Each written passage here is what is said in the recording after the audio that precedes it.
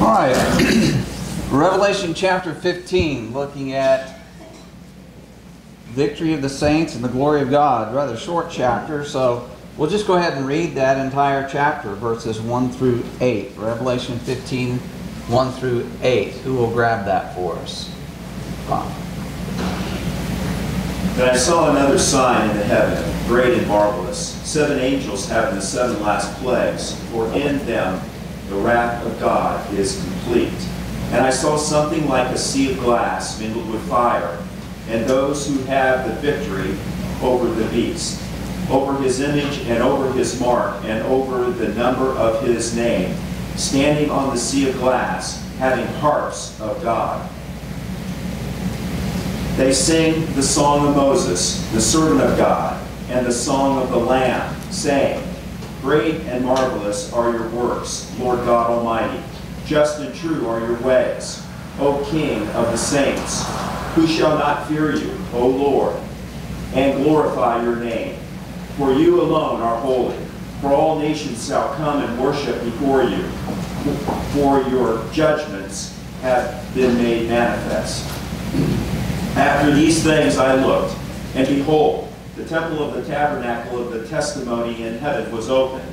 And out of the temple came the seven angels having the seven plagues, clothed in pure white linen, and having their chests girded with golden bands.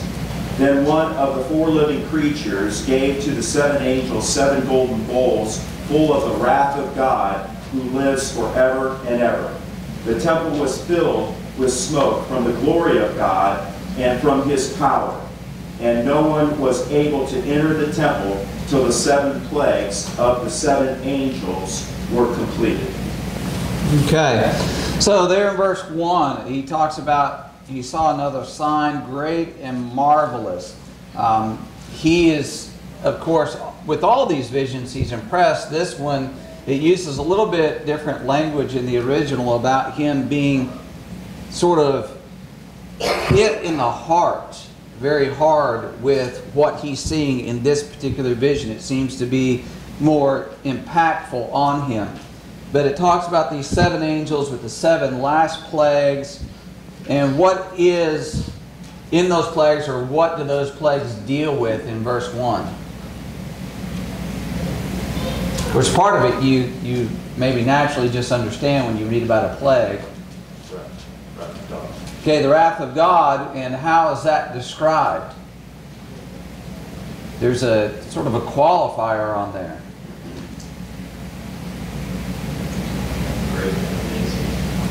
Okay, there's great and amazing.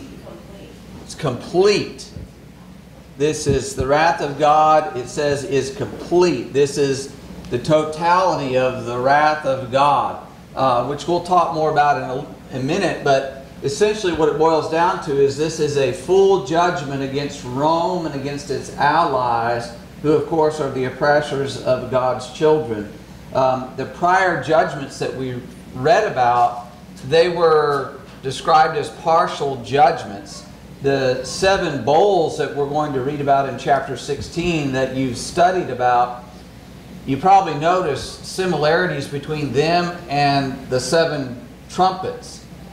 And there's, there's a reason for that, um, which we'll talk about when we get down into it a little bit. But you know, you've got these plagues of Egypt that seem to echo in here. And all it's doing is picking up on this imagery of God unleashing his wrath against those who resist him and those who hurt his people, who oppress his people. So question one I had asked in verses 2 through 4 there, who are the those who are mentioned here, what's their condition and what can we learn from it? So who are these? I saw something like the sea of glass mingled with fire, those who have victory over the beast. What's another way to put that? Victorious or faithful saints. Okay, victorious or faithful saints. So you've got the wrath of God being mentioned. These are not the subject of God's wrath. They're, they're victorious. They're, they're in a state of jubilation, if you will. Uh, it talks about this sea of glass. What, What does a sea of glass indicate? What does that remind you of?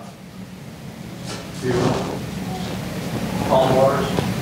Okay, calm waters. Because sometimes we'll, we'll say if we go out to a lake that it's like what? It's like glass. So it's not turbulent, it's, it's, it's not churning, it's very smooth. So the sea of glass, but what does it look like? Mingled with fire. What, what could that mingled with fire be?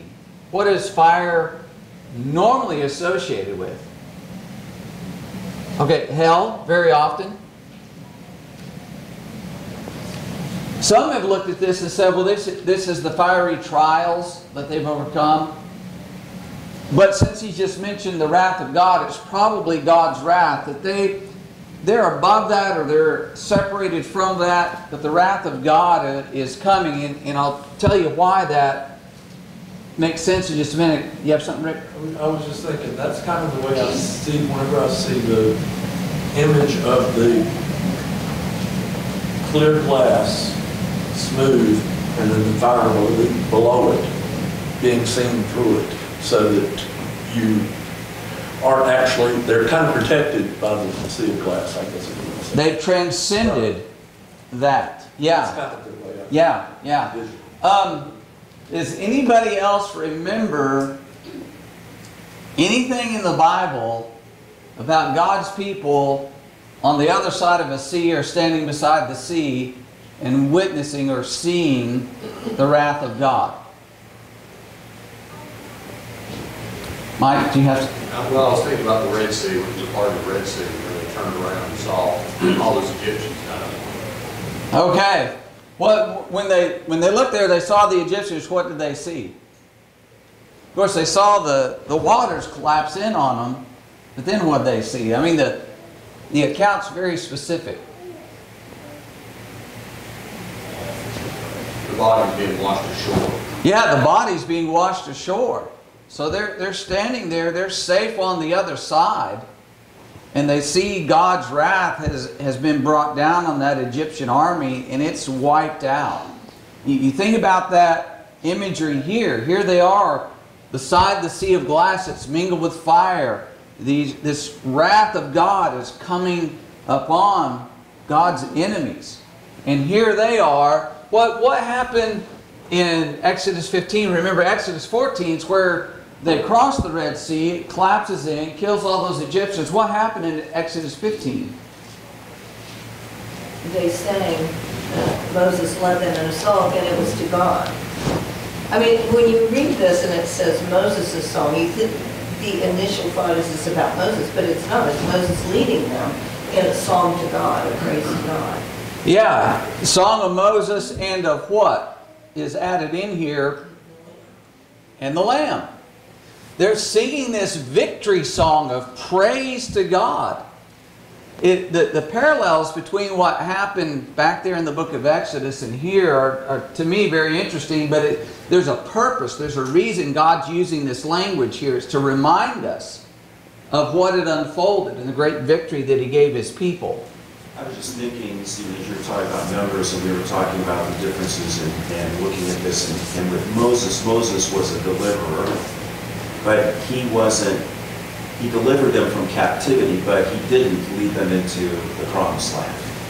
But as we see, they were all, as we talk about, types and shadows, and, and they're limited relative to Christ.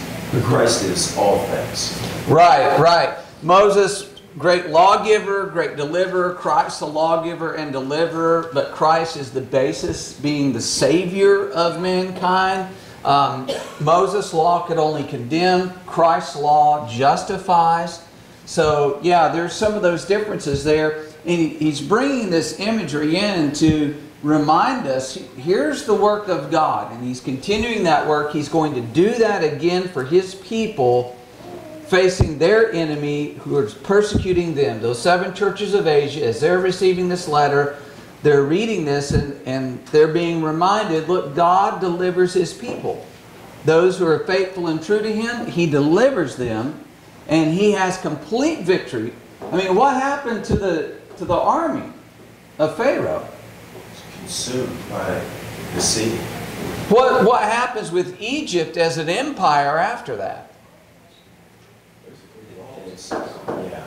Yeah, it's not what it was before. It, it is thoroughly decimated. And yes, you read about them later in the Old Testament, but they never returned to that height of power that they once had. So here he's giving, giving that idea to them. Uh, any other thoughts there? Well, as we also know, all the nations were aware of that and feared the children of Israel because of the power of God. Exactly. They, they get over there, get ready to go into Jericho, and as Rahab reveals, we're scared to death of you guys because we know what happened 40 years before. And so we, we're, the city's shut up, we're sealed up, we're, we're on edge because we know you're here, we know you're about to come in. Well, very good. So, as Nancy mentioned a moment ago, here they are praising God, uh, verses 3 and 4. We have a short record of what they're singing in the Song of Moses, the servant of God, the Song of the Lamb. Great and marvelous are your works, Lord God Almighty. And what else? What do they say about God's ways? Just and, just and true, Just and true. What does that mean? honesty, Okay. It's honest. It's by the facts. His judgments are righteous and they're pure. There, there is no defilement in them at all. Okay. So if if you've got let's just say a hundred thousand dead Egyptian soldiers floating on the Red Sea and washing ashore, that's a scene of devastation and death. Some of those guys, you know, they were just they were pressed into service to go for the Pharaoh out to fight for him. Some people would see that as unjust. What's about to happen to Rome and the devastation that will come upon Rome, upon families in Rome, upon children in Rome. Some people would see that, well, that's not right. Well, remember who it is that's making this judgment and bringing this wrath. It's God. So it's right. It's exactly right. Rick and It's just a misunderstanding of what true justice is. I mean, people think justice is everybody getting away and getting off easy. Right, right, right. Well, as Rick was saying, as we've been talking about, you know, the righteousness of God was revealed. It always has been revealed, and they were idolatrous people, but they had evidence of what God desired, just as you mentioned here in Rome. They, mm-hmm. They were not ignorant of God's will. Right, right. Those Egyptians had gone through the plagues. Yes, they knew. And they go out into the desert, Nancy and Mike. Well, and, and the other thought about that is, it doesn't matter why they were in that army, they were fighting against God. Their reason for being in there So- makes no difference. It doesn't make any difference. They, they were idolaters. That's it. Just like going into the land of Canaan. Those people were idolaters. God, God had Israel go in there to purge them of their idolatry. Well, I think, you know, also us trying to explain God's justice also is much like Job and his friends. We just kind of talk about things that, we, that are just too high for us to understand. I don't have to justify why God does what he does. I just know that he did it. And I'm willing to accept that. And, you know, and I do know this, that time and time again, the pattern that is shown for us is that able to surgically remove the righteous from the unrighteous. In all of his wisdom, he's able to do that. Even the righteous die, though. And Yes. some of the- And some of these things that happen, I mean, when the plagues came upon Egypt, you know, the people of God suffered because of it. Yeah, those beginning plagues before he separated them out, they suffered just as much as everybody else. And one of the themes in Revelation is you're, you're going to experience great suffering. It's coming. Be ready. So, yeah. All right. Um, so, they talk about uh, verse 4 Who shall not fear you? In other words, it should be obvious. Everyone should fear you, God. You alone are holy. Um, you know, let God be true and every man a liar. He, he is all wise, the only wise. It, it's talking about the fact that God is different in character and nature than any other being. He, he stands alone. For all nations shall come and worship before you, for your judgments have been manifested. He, he is greater in all, due all praise and glory. Now, um, any other thoughts there? All right, jumping on down then, verses 5 through 8. What does he see here? See something that he's seen before, but just slightly different.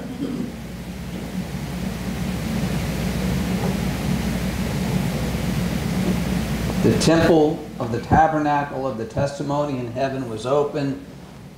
Again, just this idea of the way of God is open. His people are there. They're having fellowship with God. Uh, and out of the temple came these seven angels with the seven plagues. And how are those angels clothed? Pure, pure bright linen, Okay, pure bright linen. What would that be? White. It's pure. They're holy. They're, they're holy angels. They're on a holy, divine mission here.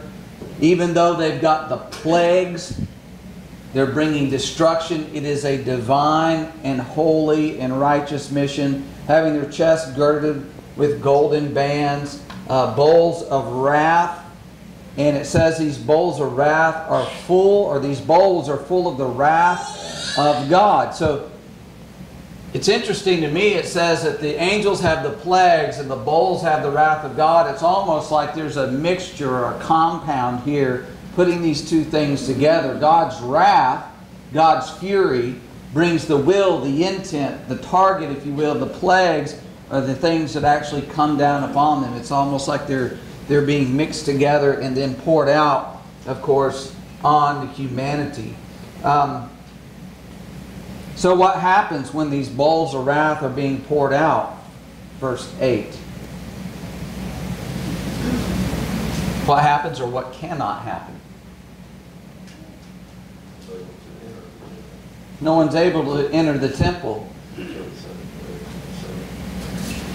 Yeah, till this is done.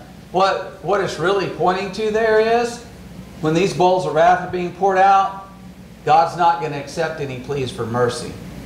These enemies, their, their time is up. It's over. It's time of judgment. And there's no getting out of it. All right, let's jump into chapter 16 then. And I tell you what, let's take, I want to read all of that, but let's just take verse 1 to start with. 16 verse 1. Who will read that for us? Go ahead, Chris. Then I heard a loud voice from the temple saying to the seven angels, Go and pour out the bowls of the wrath of God on the earth. Okay.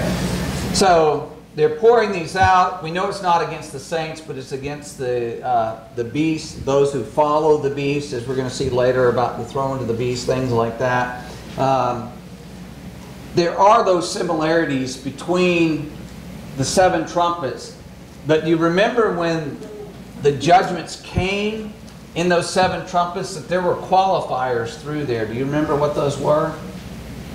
And there was a pretty common number or fraction given with it. Third, why? Uh, And the limitation was against certain things, the, the grass and the trees, and, and, uh, so there were limits about what they were allowed. Yeah, God was in in those previous ones. What he's he's bringing judgments to try to bring them to repentance. When you go through these, there's not that limitation. There's not that measured wrath. It's full wrath. Just like, you know, here in a little bit, we're going to read about every living creature in the sea died. Not a third of the creatures, but every living creature died.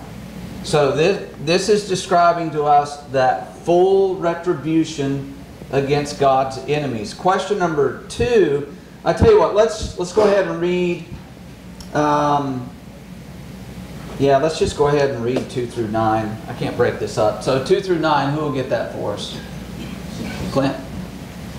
So the first angel went and poured out his bowl on the earth, and harmful and painful sores came upon the people who bore the mark of the beast and worshipped his image. The second angel poured out his bowl into the sea, and it became like the blood of a corpse, and every living thing died that was in the sea.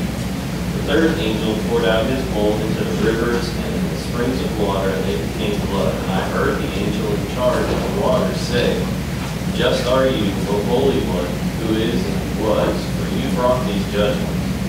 For they have shed the blood of the saints and prophets, and you have given them blood to drink. It is what they deserve. And I heard the altar saying, Yes, Lord God, the Almighty, true and just are your judgments. The fourth angel poured out his bowl on the sun, and it was allowed to scorch people with fire. They were scorched by the fierce heat, and they cursed the name of God who had power over these plagues. They did not repent and give him glory. Okay. So, question two, I had asked, you know, these first four plagues poured out against nature, lists the plagues and their effects. What do we have on these plagues in verse 2?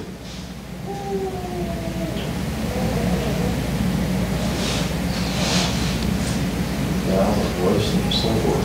Foul and loathsome sore that came upon men who had the mark of the beast and worships his, his image. So it's targeted uh, to those individuals. Uh, what would a foul and loathsome sore be? Is that a corn on your toe, Sadie? What? It would be like the boils that they were covered with in Egypt and that Job was covered with. Yes, exactly right. I mean, this this is this is not what we would typically experience as a, you know, a blister or maybe even a, a place that's infected if we, we got it cut or injured in some way. It's it's it's not even like that. But these come and they cover the the bodies of men. It, it's it's very it's extremely painful is the idea that it's talking about here. Um, it loathsome. It's gross to see, to look at, uh, to experience, of course. And so that's the first one being poured out upon the earth. What about the second one there?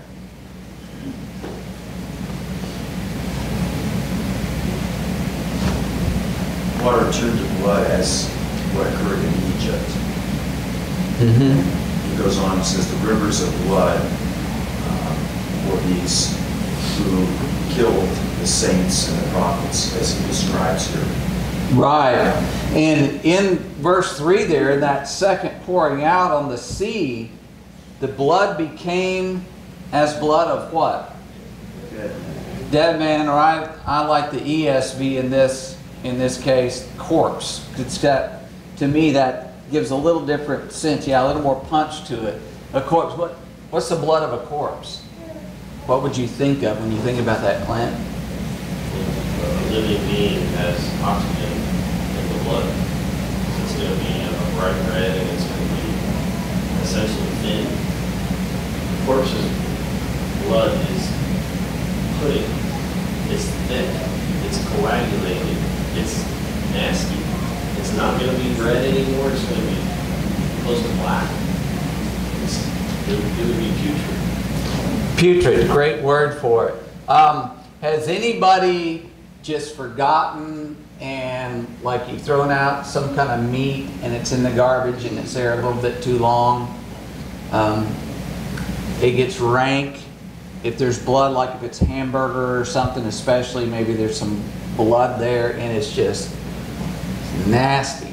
Well, it says the sea has turned to that kind of blood, and therefore every living creature has died.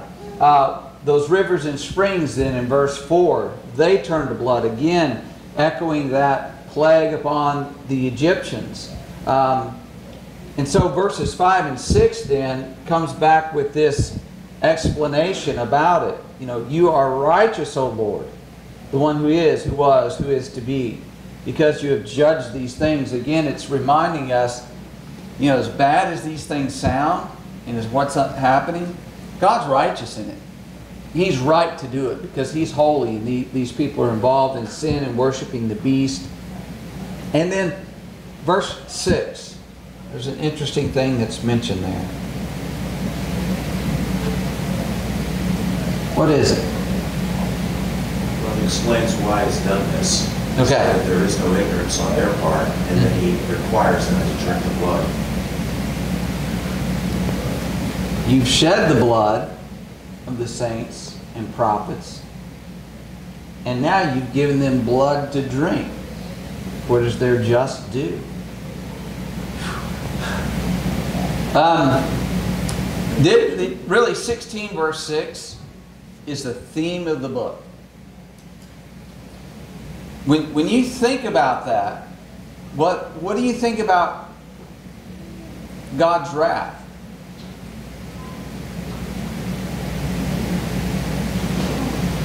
God's wrath is inflicted, is self-inflicted upon us. I mean, we have to, have to decide whether we're in God's wrath or not, and act accordingly. And What these people have done is they've attacked God's ways, they've attacked His righteousness, they've attacked His children. And so, that's why, that this is the result of that.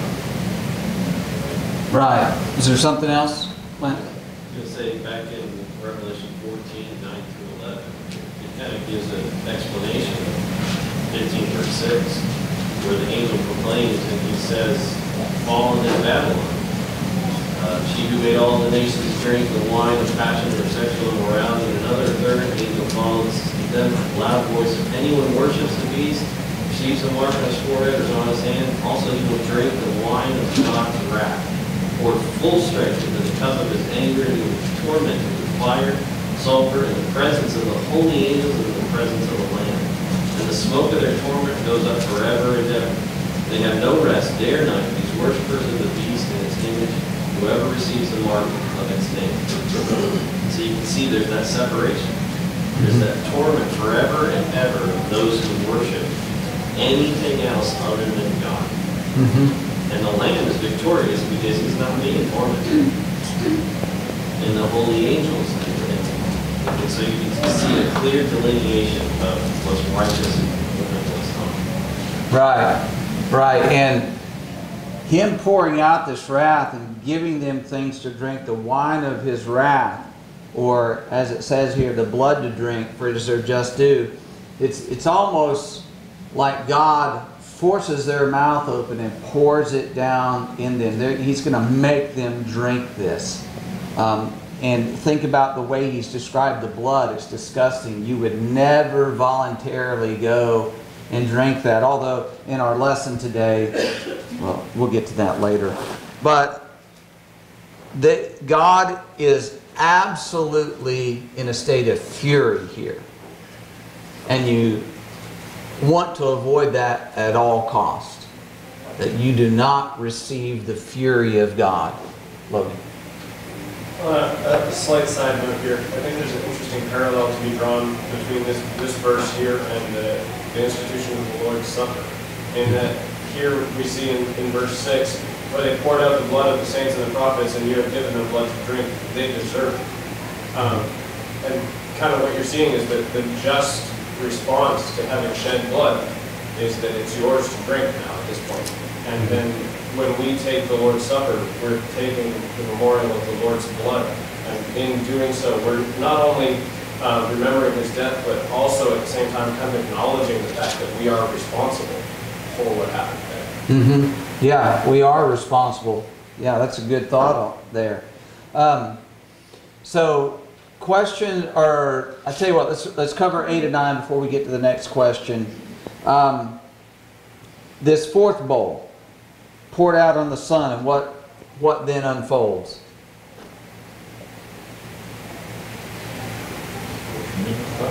Scorched men with fire. What did they do then in response to that? blaspheme the name of God. Um, we've all heard of hardened criminals. What do hardened criminals do? How do they view their imprisonment, things like that?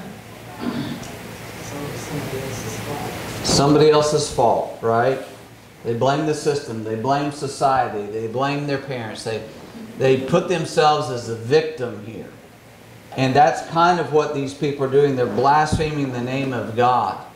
Um, well, God, this isn't just, this isn't right. Uh, hardened sinners blame God, they blame the truth, they blame other Christians, they blame the church or elders or preachers. They, some, it's somebody else's fault It's why I am the way I am, or you're wrong for condemning me for these things.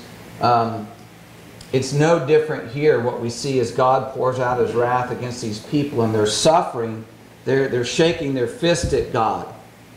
And that, that to, to us, to most people, is mind-boggling. Why would you sit there and shake your fist at God when his wrath is being outpoured? Um, that, that's, that's what they're doing here. So, uh, what message is conveyed in these first four plagues? I think we've already said it essentially, but let's just wrap that up. I think Mike said it. And we're seeing the judgment of God revealed, as you had talked about, in its totality, that, you know, there is no reversing course here. It's not in a partial form, as we have noted, but it's the totality of God's judgment. Yeah, and when we enter into sin, there are those consequences, and we will suffer those consequences.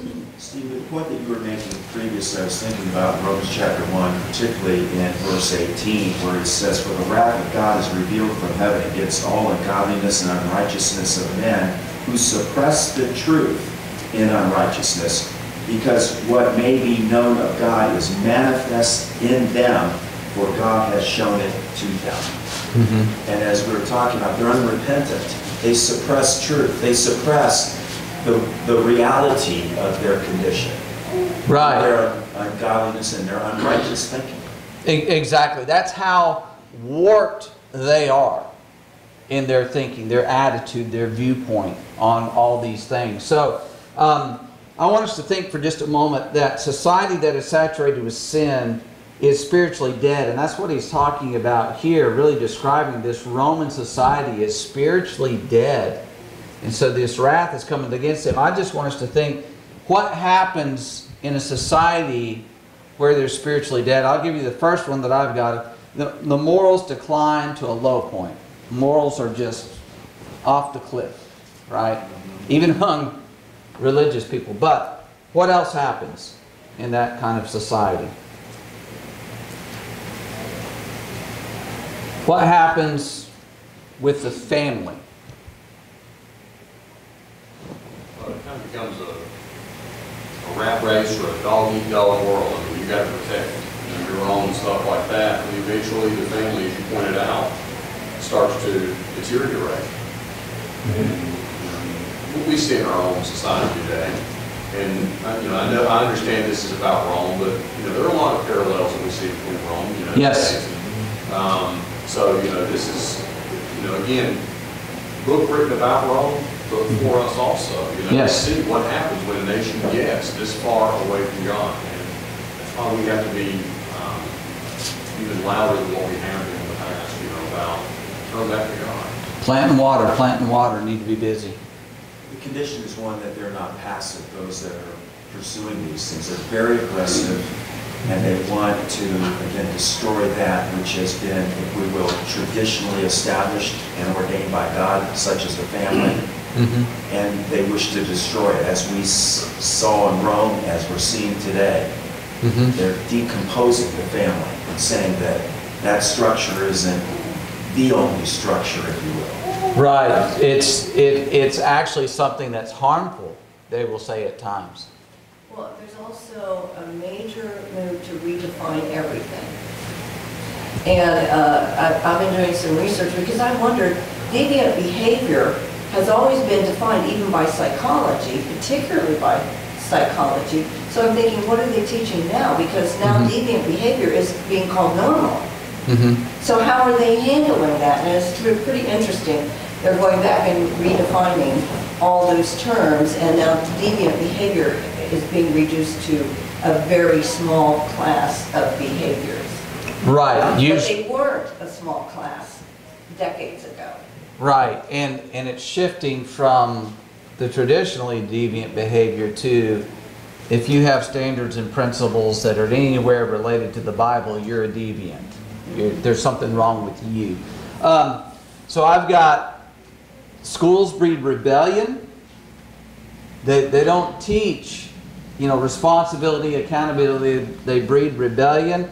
Business, business ethics are gone. Entertainment is base. Religion is corrupt. It, it penetrates every part of society. That's what it did in Rome. That's what's happening in our time. Um, and so we, as Mike said, we have to be aware of that. We need to be a leavening influence. We need to be a salt. We need to be the light to try to redeem souls as we can see. I mean, it doesn't take a genius. We can see we are headed right where Rome was here. I don't know how many years off it is, but this is where we are headed as a people, as a society.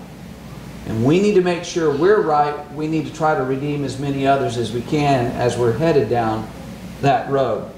Now then, uh, let's just go through these last three plagues here. Uh, let's read, let's go ahead and do 10 through 21. It's a, let's break that up for the reading. 10 to 16, then 17 to 21. Who'll get 10 to 16 for us? Then the fifth angel poured out his bowl on the throne of the beast, and his kingdom became darkened, and they gnawed their tongues because of pain. They blasphemed God, the God of heaven, because of their pains and their sores, and they did not repent of their deeds. The sixth angel poured out his bowl on the great river, the Euphrates, and its water was dried up, so that the way would be prepared for the kings from the east.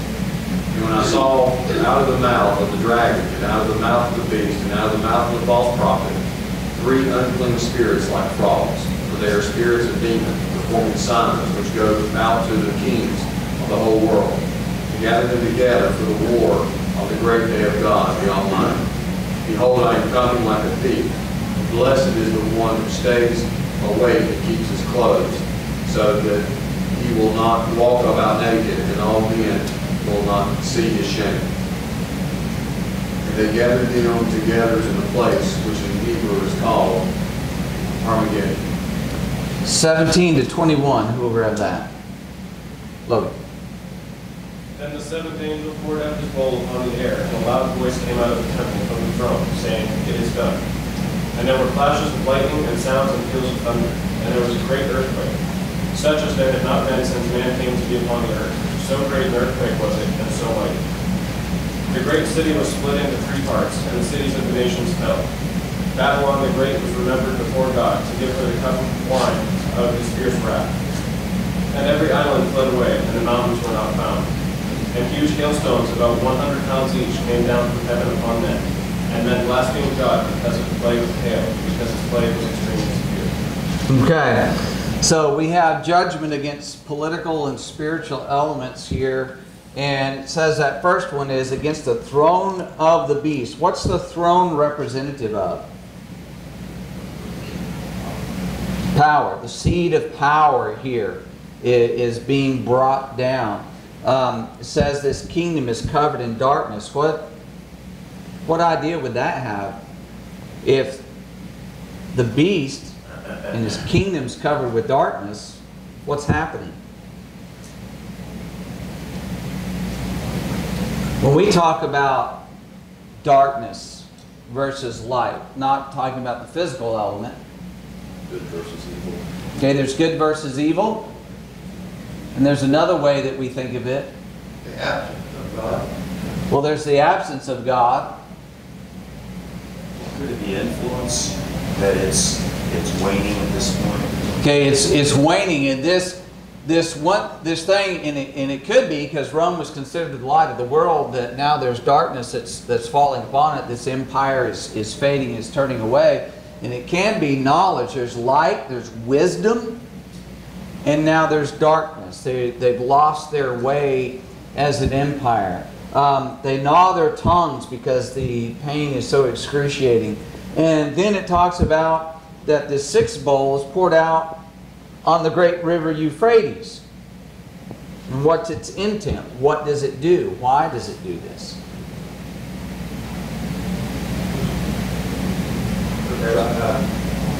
Prepare a path for who? Kings of the East. Remember, we've talked about this from time to time. The Parthians were a very powerful force against the Romans. And here's the idea of this river serves as a barrier. That river is a protector. You think about ancient armies, it took a lot to get an army across a river. And if that's dried up and they can just go right across, that opens up the way. That's the imagery being given here. It just opens up the way. There's nothing standing between them and coming in and attacking Rome. Ron, do you have some? So is this all then in preparation for the final battle? Is that what you see here? Yes. Yes. Every, every, everything's leading up. There's, there's punishment, punishment, pain, suffering, pain, suffering.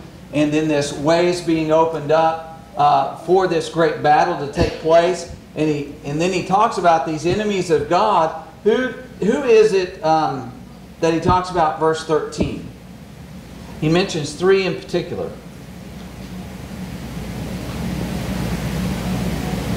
Who are the enemies? 13. Dragging the beast and the false prophet. Dragon is who? Satan. The beast? It's the beast from the sea. Rome, Roman Empire, the emperor, and false prophet. Yeah, that false the emperor cult, the false religion that that you know supported the beast and everything. So you've got those three there that are together, and it talks about that there's spirits like frogs coming out of their their mouth.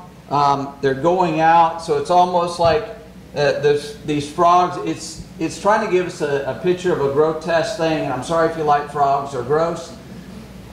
But these grotesque looking creatures that are coming out as generals to lead this vile army of the dragon, the beast, and the false prophet uh, that they're going to gather up. They are spirits of demons performing signs. Um, they're going to perform signs to deceive these kings into thinking we have a just cause or we have a great chance of winning this fight, this battle, things like that.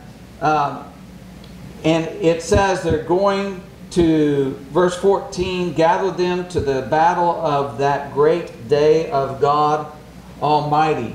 Um, where do we read about this battle in the book of Revelation? The actual battle. They're getting ready here. It's a trick question. We never read the battle. When you get to chapter 19, you only read the results of the battle, which is God wins. No need to tell us about the Do what? No need to tell us about the battle. No, it's it's over when we get to chapter 19. So, all right, now, what does Jesus tell the saints to do in verse 15?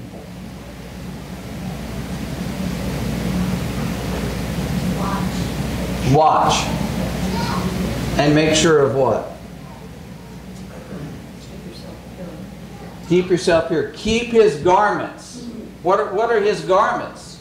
It's been alluded to before. What, what kind of garments do they have on? A white robe, right? They've been given a white robe to wear. They're pure. They belong to the Lord. He's saying, you keep that purity. Because if you take that off and you're naked in, in the context here, it's not going to be good for you.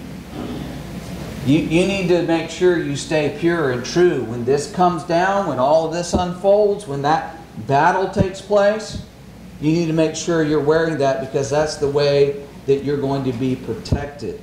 Um, so they gathered together at a place called Armageddon. I ask you to go back to Judges, kind of get an idea. What is this Armageddon? What's it referring to?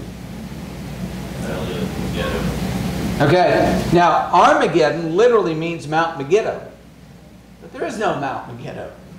That's another thing you get, oh, that's figurative. But Armageddon is not the first Gulf War, the second Gulf War, or any other war that we're ever going to have here on this earth. Right? What is this?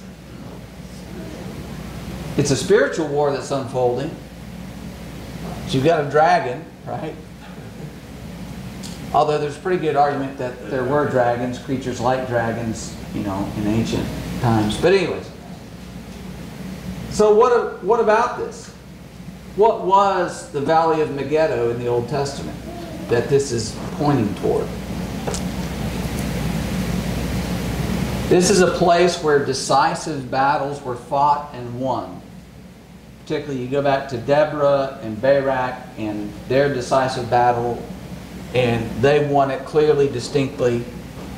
And Steven, doesn't it talk about there were particular times when the kings would come together to go to battle and, you know, prove and test themselves? Right, yeah. And this, there were several Old Testament battles fought in this plain of Megiddo or the valley of Jezreel, all that same area. Wasn't it kind of a, a location where that was kind of a central place where they would come together? Yeah, it was just, it was a good place to fight. is what it amounts to, but it, it's giving us that imagery of this is a decisive conflict between God's people and God's enemies, his people's enemies. And so the last one then it talks about uh, this pour, uh, being poured out on the air, and there are these hailstones that are coming down. And how big are those hailstones?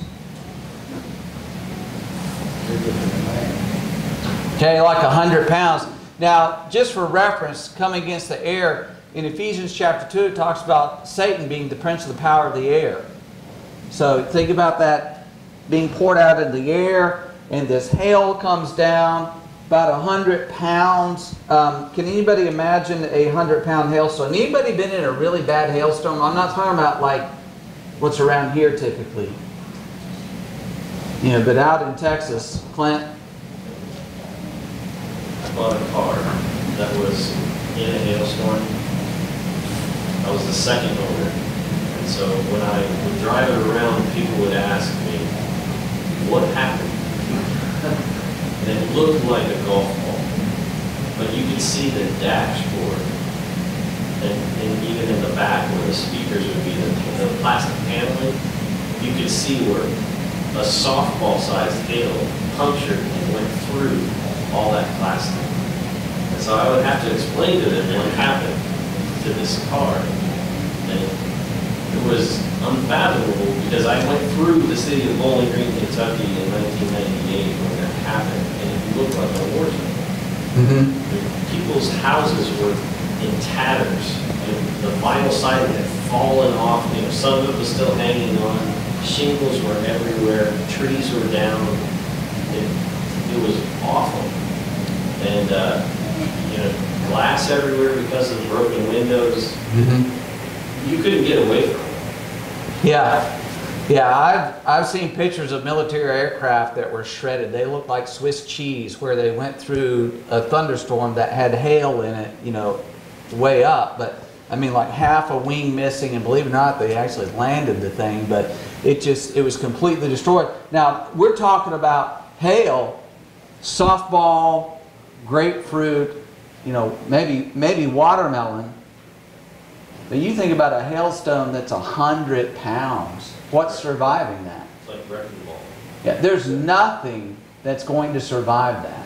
I was gonna say, you think of those five-pound bags of ice, Right, you got twenty of those coming at you. right. Yeah, exactly, exactly right. So this this is overwhelming. Uh, it talks about every island and mountain were not found. They they fled away. There's no place of refuge. There's no escaping it. Basically, it's saying you're going to be caught out in the open in this hailstorm, and what are people going to do in the midst of that hailstorm? and to blaspheme God. And that shows you just how thoroughly corrupt. And that's the amazing thing, you know. You would think about things that have happened in our society, the damage, the pain, And still people are standing there and shaking their fist at God. We refuse to give in. Yeah, we see everything that's happening, but we just refuse to give in. Uh, it's sad, um, but that's the nature of it. All right, Philip. For some reason, this, this them blaspheming God after us just reminds me of Job's wife. She just tells me to curse God and die. Just curse God and die. Yeah, just give up. I Mike. was going to say, it reminded me of Pharaoh.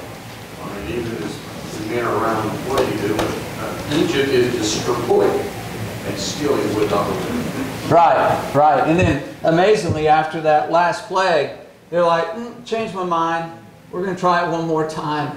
And that was their ultimate demise. All right, thank y'all.